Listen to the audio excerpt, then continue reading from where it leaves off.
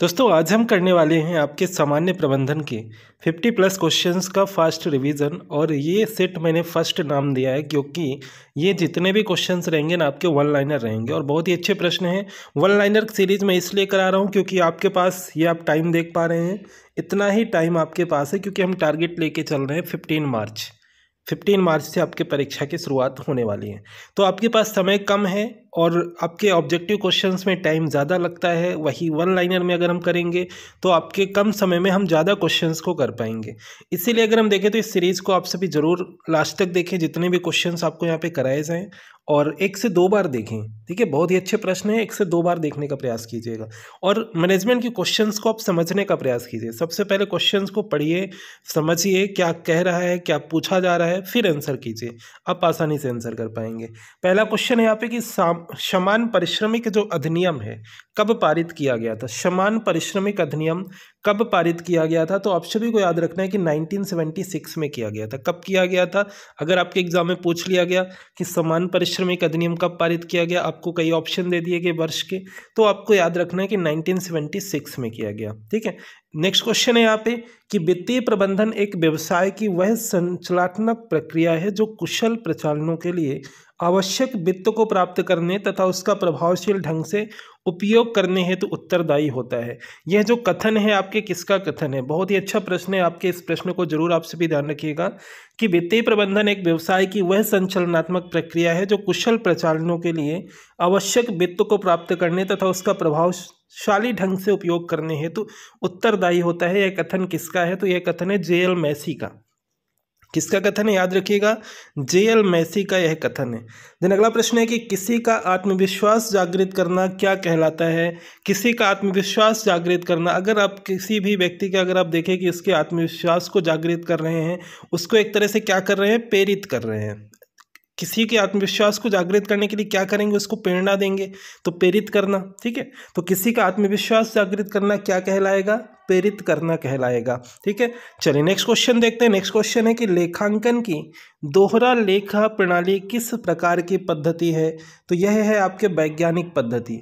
लेखांकन की दोहरा लेखा प्रणाली किस प्रकार की पद्धति है? तो यह पद्धति है आपके वैज्ञानिक पद्धति। याद रखिएगा, आप सभी कौन सी पद्धति होती है? ये होती है आपके वैज्ञानिक पद्धति। अगला प्रश्न है कि विक्रेता की सूची में एक वस्तु के बारे में विशिष्ट विवरण क्या कहलाता है? यह कहलाता है उत्पाद मद। क्या कहलाता है? उत्पाद मद कहलाता है। तो विक्रेता की सूची में एक वस्तु के बारे में जो विशिष्ट विवरण है, क्या कहलाता है? तो यह कहलाता है उत्पाद मद। ठीक है क्या कहलाता है? उत्पाद मद। ठीक है याद रखिएगा आप सभी। दिन अगला क्वेश्चन है कि नियोजन द्वारा निर्धारित जो लक्ष्य है, इनकी प्राप्ति के लिए किसका निर्माण आवश्यक होता है? नियोजन द्वारा निर्धारित जो लक्ष्य हैं, इनकी प्राप्ति के लिए किसका निर्माण आवश्यक होता है तो संगठन का निर्माण आवश्यक होता है। संगठन का निर्माण आवश्यक होता है आपके जो नियोजन द्वारा निर्धारित लक्ष्य की प्राप्ति के लिए, ठीक है? क्या हो जाएगा आपका? संगठन का निर्माण करना आवश्यक होता है। अगला प्रश्न है कि वित्तीय विवरण और बही खाते जो होते हैं, ये मुख्य रूप से किससे संबंध रखते हैं? तो वित्तीय विवरण और बही खाते मुख्य रूप से वित्तीय लेखांकन से किससे संबंध रखते हैं? तो आप सभी को याद रखना कि वित्तीय लेखांकन से संबंध रखते हैं। अगला प्रश्न है कि किसी व्यक्ति को उत्पाद विक्रय करवाने के लिए दिया गया जो धन होता है, क्या कहलाता है? ठीक है, जैसे कि आप समझिएगा इस प्रश्न को। अगर आप प्रश्न को समझेंगे, क्या कह रहा है प्रश्न कि किसी व्यक्ति को, उत्पाद को, कोई आपका प्रोडक्ट है? एग्ज़ाम्पल कुछ भी आप लिख सकते हैं। कोई आपका प्रोडक्ट है, अगर आप किसी व्यक्ति को बोलते हैं कि इस प्रोडक्ट को आप सेल कराइए, हम इतना आपको क्या देंगे? इतना हम आपको इसमें कमीशन देंगे। यही तो आपका आंसर है। किसी व्यक्ति को उत्पाद विक्रय करवाने के लिए दिया गया धन क्या कहलाता है? तो आप सभी को पता है कमीशन कहलाता है। ठीक है, यही आपसे पूछा गया था। अगला प्रश्न है कि कार्मिक प्रबंधन किसका नया रूप है? कार्मिक प्रबंधन किसका नया रूप है? तो मानव संसाधन प्रबंधन का। किसका नया रूप है? मानव संसाधन प्रबंधन का। ठीक है तो आप सभी का करेक्ट है यहाँ पे मानव संसाधन प्रबंधन, कार्मिक प्रबंधन। अगला प्रश्न है कि यदि राजू यदि राजू ने नगद माल बेचा तो प्रविष्टि को कहाँ पर रिकॉर्ड किया जाएगा? अच्छा प्रश्न है। यदि राजू ने नगद माल बेचा है तो प्रविष्टि को कहाँ पर रिकॉर्ड किया जाएगा? तो रोकड़ बही में। कहाँ पर किया जाएगा? रोकड़ बही में रिकॉर्ड किया जाएगा। ठीक है, आप सभी ने करेक्ट है यहाँ पे। देन अगला क्वेश्चन है कि ध्यान कर्षण या लालच की कला, जो व्यक्ति में किसी कार्य को करने की इच्छा एवं जिज्ञासा उत्पन्न कर दे। क्या कहलाती है? ठीक है, जो व्यक्ति में किसी कार्य को करने की इच्छा या जिज्ञासा उत्पन्न कर दे, क्या कहलाएगी? अभिप्रेरणा कहलाएगी। बहुत ही अच्छा प्रश्न है। अभिप्रेरणा कहलाएगी। ठीक है लालच की कला जो व्यक्ति में किसी कार्य को करने की इच्छा व जिज्ञासा उत्पन्न कर दे, क्या कहलाती है? अभिप्रेरणा कहलाती है। ठीक है? नेक्स्ट क्वेश्चन करने से पहले कुछ एक्स्ट्रा इन्फॉर्मेशन है आप सभी के लिए अकेडमी के बारे में, जहाँ पे आप सभी ट्वेंटी फ़र्स्ट जनवरी को ये स्कॉलरशिप टेस्ट आप सभी टेस्ट देके स्कॉलरशिप जीत सकते हैं। देन आपके देखें तो ये two thousand most important question का आपके लिए टेस्ट प्रोवाइड हो रहा है। Unit wise full length test आप सभी इसे ज्वाइन कर सकते हैं। MP exams ten code apply करके। देन आपके देखें तो कौन कौन से बैच चल रहे हैं तो ये जनवरी मंथ के बैच आप सभी देख सकते हैं। विजय पथ पटवारी के लिए बैच आपका स्टार्ट किया गया है। And the rapid revision batch आपके लिए चल रहा है, जो बाइलिंगुअल है। तो ये सभी बैच आप एक ही फ़ीस पे ज्वाइन कर सकते हैं। कोड अप्लाई करके एम पी एग्ज़ाम्स टेन चलिए, अगला क्वेश्चन करते हैं। International public management association for H R का संबंध, किस प्रबंधन से है आपका इसका संबंध? तो आप सभी को याद रखना है कि यह संबंधित है मानव संसाधन प्रबंधन से। मानव संसाधन प्रबंधन से संबंधित है आपका ये। नेक्स्ट है, न्यूनतम मजदूरी अधिनियम कब पारित किया गया था? न्यूनतम मजदूरी अधिनियम कब पारित किया गया? तो आपके 1948 में किया गया था। वर्ष आपको याद रखना है 1948 न्यूनतम मजदूरी अधिनियम कब पारित किया गया? 1948 में किया गया। देन अगला प्रश्न है कि यदि किसी देय तिथि को अचानक अवकाश हो जाए तो अगली देय तिथि क्या होगी? आसान सा प्रश्न है। बहुत से क्वेश्चन आपको ऐसे मिलते हैं जो आप आसानी से अगर उसे रीड करेंगे और आप समझेंगे तो आसानी से आंसर कर सकते हैं। देन अगला क्वेश्चन है कि बालक किसी कार्य को अपनी इच्छा से करता है तो वह कौन सी प्रेरणा होगी? किसी कार्य को अपनी इच्छा से करेगा तो कौन सी प्रेरणा होगी? एक सकारात्मक प्रेरणा होगी, एक पॉजिटिविटी दिखेगी आपकी यदि किसी कार्य को वह अपनी इच्छा से करेगा। ठीक है? करेक्ट है आप सभी का?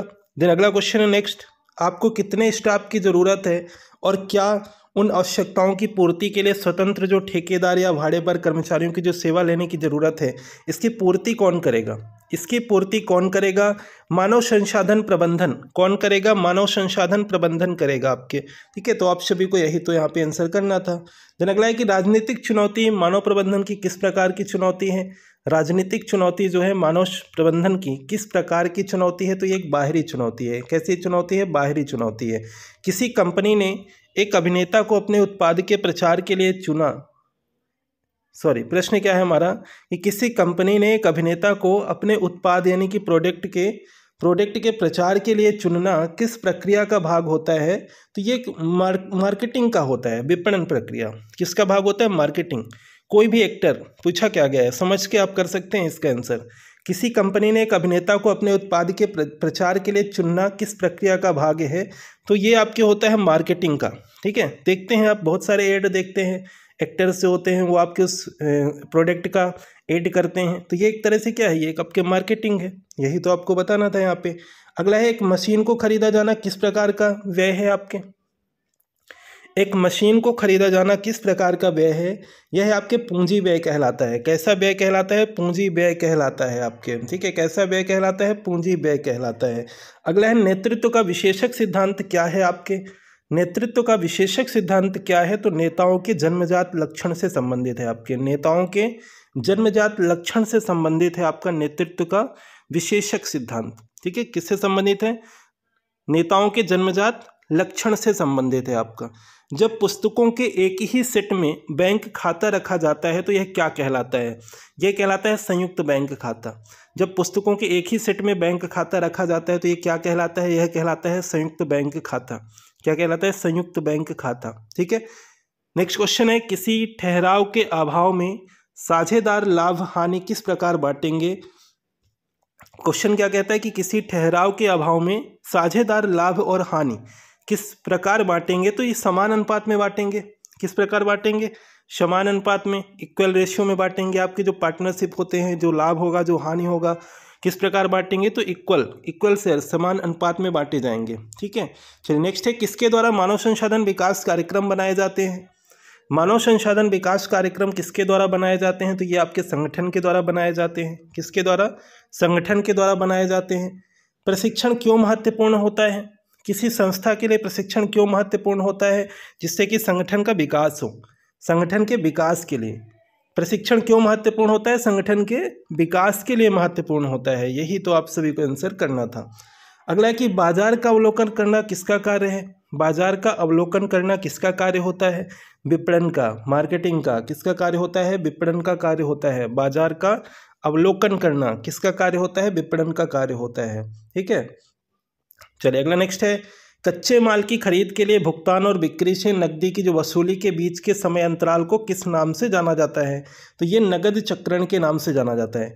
कच्चे माल की खरीद के लिए जो भुगतान होगा और बिक्री से जो नकदी की जो वसूली होगी, इसके बीच का जो समय अंतराल होगा, इसको किस नाम से जाना जाता है? तो नगद चक्रण के नाम से जाना जाता है। किस नाम से? नगद चक्रण के नाम से जाना जाता है आपके। ठीक है नेक्स्ट है। एक नेता द्वारा हर परिस्थिति से ऊपर उठकर भविष्य के लिए जो कल्पना करने की जो क्षमता होती है, उसका कौन सा गुण दर्शाती है आपके? ये दूरदर्शिता को दर्शाता है। एक नेता द्वारा ये हर परिस्थिति से ऊपर उठकर भविष्य के लिए कल्पना करने की जो क्षमता होती है, इसका कौन सा गुण दर्शाती है? तो दूरदर्शिता को दर्शाती है आपके। ठीक है, किसे दर्शाती है? दूरदर्शिता को दर्शाती है। अगला प्रश्न है कि भारतीय साझेदारी अधिनियम किस वर्ष पारित हुआ था आपके? तो 1932 में। भारतीय साझेदारी अधिनियम 1932 में आपके देखे तो पारित हुआ था आपके। ठीक है 1932 में पारित हुआ था। नेक्स्ट है, आवधिक कर्ज किस प्रकार की देनदारी है? आवधिक कर्ज जो है किस प्रकार की देनदारी है? तो ये दीर्घकालीन देनदारी होती है आपके। किस प्रकार की देनदारी होती है? दीर्घकालीन देनदारी होती है आपके, जो आवधिक कर्ज होती है, ठीक है? नेक्स्ट है, सामूहिक प्रयास किसकी मुख्य विशेषता है? सामूहिक प्रयास किसकी मुख्य विशेषता होती है? तो सामूहिक प्रयास एक संगठन की होगी ना? एक संगठन की मुख्य विशेषता होगी आपके सामूहिक प्रयास, ठीक है? आप सभी का राइट है। अगला है, भविष्य में क्या करना है? बहुत ही अच्छा प्रश्न है और बहुत ही आसान सा प्रश्न है आपके कि भविष्य में क्या करना है, इसका पूर्व निर्धारण करना क्या कहलाता है तो नियोजन कहलाता है प्लानिंग कहलाता है और इसका तो आप सभी अपने खुद से इसका एक तरह से एग्ज़ाम्पल लेके आप इसका आंसर कर सकते हैं कि यदि आपको भविष्य में आगे क्या करना है, इसका पूर्व जब आप निर्धारण करेंगे, पूर्व प्लानिंग बनाएँगे, वही तो आपका आंसर है, नियोजन, ठीक है, भविष्य में क्या करना है, इसका पूर्व निर्धारण क्या कहलाता है तो आपके प्लानिंग कहलाता है, यही तो आपको आंसर करना था। अगला है कि नियोजन का उद्देश्य निश्चित है या अनिश्चित नियोजन का उद्देश्य क्या होता है? देखिए प्लानिंग का जो उद्देश्य होता है ना, वो निश्चित होता है। नियोजन का उद्देश्य क्या होता है? निश्चित होता है आपके। ठीक है, नियोजन का उद्देश्य क्या होता है? निश्चित होता है। ई एस ओ पी का संबंध किससे है? तो ये मानव मानव संसाधन प्रबंधन से संबंधित है आपका। किससे संबंधित है? मानव संसाधन प्रबंधन से संबंधित है आपका ये। ठीक है नेक्स्ट है, संगठन को सत्ता का औपचारिक ढांचा किसने कहा था? बहुत ही अच्छा प्रश्न है कि संगठन को सत्ता का औपचारिक ढांचा किसने कहा था आपके? तो लोथर गुलिक ने कहा था। किसने कहा था? लोथर गुलिक। लोथर गुलिक ने कहा था संगठन को सत्ता का औपचारिक ढांचा। अगला प्रश्न है आपका नेक्स्ट कि वस्तु या सेवा के उपभोग में इकाई वृद्धि करने पर प्राप्त होने वाले लाभ को क्या कहा जाता है? तो वस्तु या सेवा के उपभोग में इकाई वृद्धि करने पर जो प्राप्त होने वाले लाभ होते हैं, इन्हें क्या कहा जाता है? तो वस्तु या सेवा की सीमांत उपयोगिता। क्या कहा जाता है? वस्तु या सेवा की सीमांत उपयोगिता कहा जाता है। ठीक है नेक्स्ट क्वेश्चन है कि प्रबंधकों द्वारा प्रबंधकों द्वारा सर्वोत्तम विकल्प का चुनाव करना क्या कहलाता है? तो प्रबंधक द्वारा जो सर्वोत्तम विकल्प है, इसका चुनाव करेंगे तो चुनाव करेंगे तो क्या कहलाएगा? निर्णय कहलाएगा। किसी आप, किस, कोई आपने प्लान बनाया, उस प्लान को अगर आपने देखे कि आगे जो आप प्रबंधक होते हैं या आप खुद हैं तो अगर आप उसका एक तरह से चुनाव करेंगे, सर्वोत्तम विकल्प जो सबसे सही रहेगा तो वो एक तरह से क्या है? कि आपने ये प्लान बनाए, ये प्लान आपका सही है तो आप उसमें निर्णय ले लेंगे। तो यही तो आपको आंसर करना था। ठीक है निर्णयन उच्च उच्च अधिकारियों द्वारा नियोजित व्यवहार क्या कहलाता है? औपचारिक संगठन। उच्चाधिकारियों द्वारा नियोजित व्यवहार क्या कहलाता है? तो औपचारिक संगठन कहलाता है आपके। ठीक है नेक्स्ट है। स्टॉक किए गए माल के आकार व प्रतिशत की विशिष्टता को कौन दर्शाता है? जो स्टॉक किए गए माल होते हैं, उनके आकार यानी कि आपके देखें तो एक तरह से कितना आपने माल को माल को स्टॉक किया है, कोई भी आपके देखे एक तरह से आपकी बात करें संस्था है, उसके द्वारा जब माल को स्टॉक कर लिया जाता है तो कितना माल स्टॉक है, उसको तो कहाँ पे जानकारी मिलेगी? इन्वेंट्री इन्वेंट्री में जानकारी मिलेगी कितना माल अभी आपके स्टॉक में पड़ा हुआ है, ठीक है? तो ये एक तरह से इन्वेंट्री में मिलेगा। द नेक्स्ट है कि नेतृत्व की पुरानी विचारधारा नेता के विषय में क्या कहती है? ये तो हमने किया है, नेता जन्म लेते ही तैयार नहीं किए जाते हैं आपके, ठीक है? नेतृत्व की पुरानी विचारधारा। ठीक है, आप सभी का यहाँ पे नेक्स्ट है, विपणन में किसकी प्रतिक्रिया जो होती है सबसे महत्वपूर्ण मानी जाती है? तो विपणन में सबसे महत्वपूर्ण जो होती है ना, ग्राहक की कंज्यूमर किसी चीज़ का मार्केटिंग चल रहा है, जब कंज्यूमर उस पर ध्यान नहीं देगा तो फिर कहाँ से कुछ होगा? विपणन में किसकी प्रतिक्रिया सबसे महत्वपूर्ण होती है? ग्राहक की प्रतिक्रिया सबसे महत्वपूर्ण मानी जाती है। अगला है, संपत्तियों के व्यवसाय में किस उद्देश्य हेतु तो रखा जाता है आपके? संपत्तियों को व्यवसाय में किस उद्देश्य हेतु तो रखा जाता है? तो आगम उपार्जन हेतु। किसके लिए? आगम उपार्जन हेतु रखा जाता है संपत्तियों को व्यवसाय में। ठीक है? क्लियर है सभी को? चलिए नेक्स्ट है। नेक्स्ट क्वेश्चन है कि एक निश्चित अवधि में सुनिश्चित एवं सुपरिभाषित सामाजिक आर्थिक लक्ष्यों की प्राप्ति के लिए देश में उपलब्ध जो आर्थिक संसाधन है, इनका विवेकपूर्ण ढंग से समन्वय एवं नियंत्रण किया जाता है। ये क्या कहलाता है? तो ये आपके आर्थिक नियोजन कहलाता है। ये क्या कहलाता है? ये आपका आर्थिक नियोजन कहलाता है, ठीक है? तो एक निश्चित अवधि में सुनिश्चित और सुपरिभाषित सामाजिक आर्थिक जो लक्ष्य है इनकी प्राप्ति के लिए देश में उपलब्ध जो आर्थिक संसाधन है, इनका जो विवेकपूर्ण ढंग से समन्वय है एवं नियंत्रण है, किया जाता है, क्या कहलाता है? तो ये कहलाता है आर्थिक नियोजन। क्या कहलाता है? आर्थिक नियोजन कहलाता है। नेक्स्ट है, लोक सेवा आयोग किस प्रकार के प्रबंधन का रूप माना जा सकता है? तो ये एक आपका मानव संसाधन प्रबंधन है आपके। किस प्रकार का प्रबंधन है? मानव संसाधन प्रबंधन है आपके। ठीक है नेक्स्ट है, वित्तीय विवरण किसका भाग है आपके? वित्तीय विवरण किसका भाग है? तो एक लेखांकन का पार्ट होता है आपके। वित्तीय विवरण किसका भाग है? तो लेखांकन का भाग है आपके वित्तीय विवरण। एंड लास्ट प्रश्न है पे अंतिम प्रश्न है आपके, कि विपणन का मुख्य बिंदु किसे कहा जाता है? तो ग्राहक को कहा जाता है। विपणन का मुख्य बिंदु किसे कहा जाता है? तो ग्राहक को कहा जाता है विपणन का मुख्य बिंदु। तो ये थे आपके फिफ्टी क्वेश्चंस जो हमने आज किए अगर आपको ये सीरीज़ वन लाइनर की चाहिए या ऑब्जेक्टिव क्वेश्चंस की चाहिए तो आप कमेंट करके ज़रूर बताएँ, ठीक है? हम साथ साथ में दोनों को लेके चल रहे हैं, एक हमारा थ्री थाउज़ेंड क्वेश्चन का भी कोर्स चल रहा है तो वहाँ से आप ऑब्जेक्टिव भी कर सकते हैं, जहाँ से आपको पी वाई क्यू करने की ज़रूरत नहीं पड़ेगी। वैसे भी मैंने आपको एट टू टेन पार्ट आपको करा दिए हैं, जहाँ से आपके देखे तो ढाई सौ तीन सौ क्वेश्चन आपके प्रीवियस ईयर के जनरल मैनेजमेंट के हो चुके हैं, और आगे भी आपको कराए जा रहे हैं। तो आगे नेक्स्ट जो इन्फॉर्मेशन है, तेजस 120 डेज़ का जो बैच चल रहा है एम पी प्रीलिम्स के थर्टीन जनवरी से आपका कंटिन्यू स्टार्ट हो गया है दर्शन बैच आपका ट्वेल्व जनवरी से चल रहा है। देन आपके देखें तो ये फाइव जनवरी से आपका बैच चल रहा है। दिसंबर मंथ के बैच आप सभी देख सकते हैं, कब से कौन सा बैच स्टार्ट हो रहा है। इन सभी बैच को एक ही फ़ीस में आप सभी ज्वाइन कर सकते हैं। कोड क्या अप्लाई करना है? M P exams ten code apply कीजिए डिस्काउंट लीजिए ऑफ़र का बेनिफिट लीजिए आप सभी। एंड शेयर कीजिए इस वीडियो को अपने सभी फ्रेंड्स के साथ, जिससे ज़्यादा से ज़्यादा लोगों तक ये जानकारी पहुँच पाए। तो चलिए मिलते हैं फिर नेक्स्ट वीडियो में एंड अगर आपने अभी तक चैनल को सब्सक्राइब नहीं किया तो कर लीजिएगा एंड बेल आइकन को प्रेस कर लीजिएगा। मिलते हैं नेक्स्ट वीडियो में। Thank you